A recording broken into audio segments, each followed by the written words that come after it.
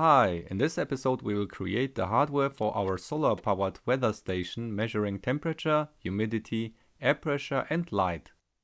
The weather station will be placed outdoors and use Wi-Fi to publish the sensor readings to our MQTT broker. Node-RED will process the data and display conveniently on our devices. I decided to stick to the Wemos microcontroller since it's really cheap and provides great amount of accessories.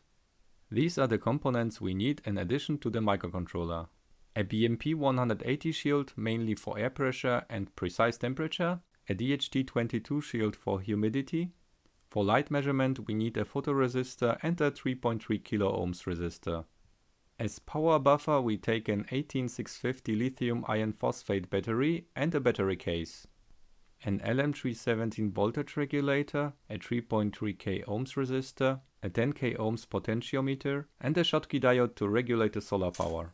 We need also some connectors of your choice for the convenience, some 5 volt solar cells, a PVC pipe with a cap as case and a brick. As always you will find a link in the description to the project page containing some details, the code, the 3D files, the flows and links to some parts. Let's start. It's sufficient to stack all the shields together, at least as a first test. If the ESP runs permanently, it's heating up, so it's rather recommended to stack the shields side by side to get a precise temperature reading. The BMP180 is very battery friendly. It consumes less than a microamp while it's not used. Not much more to do there.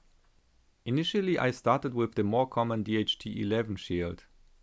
But looking at the specs I found that the minimum supply voltage should be 4 volts. But it's powered from the 3.3 volt rail on the shield. This could explain the discrepancy in sensor readings I got in the past. Testing the power consumption, it's also draining the battery all the time with a base current of 50 microamps. So I decided to check out the DHT22 module. It costs just a dollar more, but it's higher precision, works with 3.3 volts and consumes only 5 microamps on standby. The photoresistor is optional. Since the ESP8266 has only one analog input, we can either measure the brightness or the battery voltage. We could run it monitoring the battery voltage until we are sure the system is sustainable and switch to the photoresistor later if we like. The photoresistor setup is easy. The analog input takes a voltage between 0 and 1 volt. Just like in the smart washing machine video, we set up a voltage divider such that we get meaningful readings. 3.3 kilo ohms works for me. The resistor is connected between ground and the analog input, and the photoresistor is connected between VCC and the analog input. Let's take a look at our power consumption. We like to balance between the frequency of the sensor updates and the size of the batteries and the solar panel. While running, the setup consumes around 75 mA. The Wi-Fi is quite power hungry, and updating the values each second is an overkill since the weather doesn't change so often. A good possibility to save some power is to use the deep sleep capabilities of the ESP. It consists of a real-time clock which can wake it up again. While in deep sleep we can disable the Wi-Fi. With only the real-time clock running we still consume around 280 microamps. To use the deep sleep without the real-time clock, we would need some kind of external setup that triggers the reset to wake the ESP up again. Just like we did in the smoke detector tutorial. The real-time clock is not hardwired to the reset, so we need to add a connection between pin D0, which is GPIO 16, and the reset pin. Now to the power supply. The lithium iron phosphate battery is a good choice since its nominal voltage is close to 3.3 volts and we like to connect it directly to the 3.3 volt rail. Any power regulation in between means a power loss.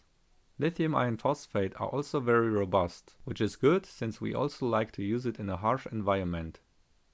The solar cells I have here are rated to 5 volts. I have tested what currents we get outside during October in Central Europe at different weathers. Changing the load we can see what current to expect at what voltage. 2 o'clock direct sun, around 50 milliamps. Just after sunset, around 450 microamps. Overcast and rain, around 5 milliamps. While monitoring the power consumption, the device needs around 7.5 seconds to start up, connect to Wi-Fi and to publish the sensor values. This consumes around 75 milliamps. While it's sleeping, it consumes 280 microamps. Let's say we want to let it publish every minute. This will consume 8.6 milliamps on average. This is also the current we need to harvest from the sun. Let's assume the battery has an actual capacity of 1000 milliamps. Let's check how long it can last when we get no sun at all. 5 days. But do we really need an update every minute? I guess every 5 minutes could also be sufficient. Average consumption will be 2.1 milliamps, much better. Let's assume we get the worst case. 8 hours of rainy weather every day. This will result in an average of 1.6 milliamps per cell. I decided to use two cells in parallel. Setting the update rate to 5 minutes will be on the safe side this way. Now we need to regulate the input power. I tried a few things. The only thing working at few milliamps input was the LM317. We can regulate down the solar cell voltage to the charging voltage of around 3.6 volts of the battery.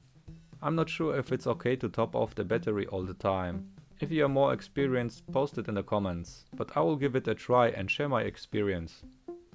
There still is a slight problem of backward current to the regulator if there is no input power. This can be solved using a diode. But diodes have a voltage drop depending on the current. The higher the current, the higher the drop. So there is a trade-off between fully charging or risking an overcharge at low currents. I picked a Schottky diode with a small forward voltage to keep the variation low and adjust it to 3.6 volts at minimal load on the microcontroller.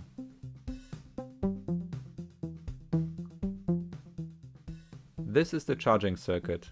3.3k ohms between adjust and the output pin, potentiometer between adjust and ground, and the diode at the output. Quite simple. Let's put everything together. I decided to separate the sensors from the microcontroller. For the BMP we need to wire D1, D2, 3.3 volts and ground. The DHT is usually connected to D4, but this is also the LED pin, so I connect it to D5 to not waste power on the LED. Then we also need 3.3 volts and ground. For the photoresistor we wrap the voltage divider in heat shrink and give it a longer wire to mount it outside on the compartment.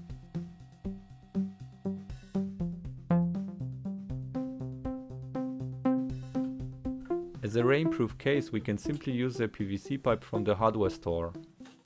Just jam everything in. Or take the insert I designed and 3D print it.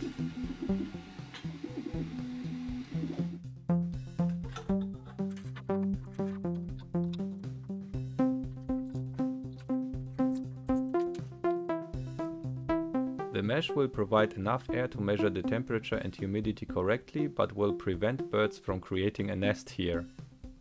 These walls will protect the other parts from corrosion a bit more.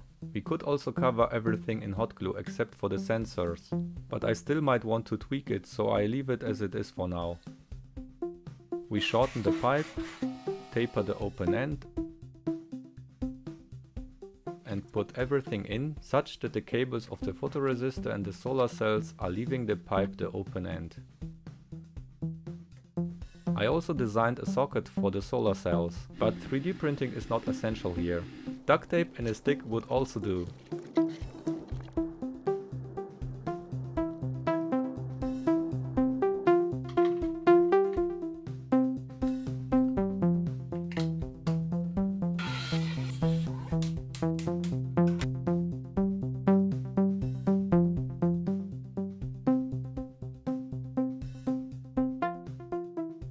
Can use cable ties to fix it to the brick, which will prevent the winds to take it.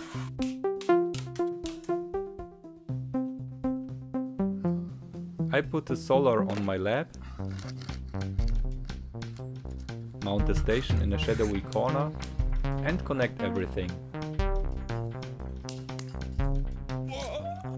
There is not much happening in the code of the microcontroller. I've used the Arduino IDE this time with the ESP8266 board extension and some libraries. You can find all the details on the project page linked below. The code basically connects to Wi-Fi, connects to the MQTT broker and publishes the sensor readings. After that it turns off the Wi-Fi and goes into deep sleep. All the parameters can be set at the top of the file. Let's check if it's doing anything. It seems to work. The user interface on my phone is provided by Node-RED, which we set up last episode. The Node-RED flow receives the published values from the MQTT broker and feeds the gauges and charts. You can explore my flows. Those can also be found on the project page. That's it for this episode. If you liked it, please share and subscribe to not miss what's coming next. See you next time. Bye.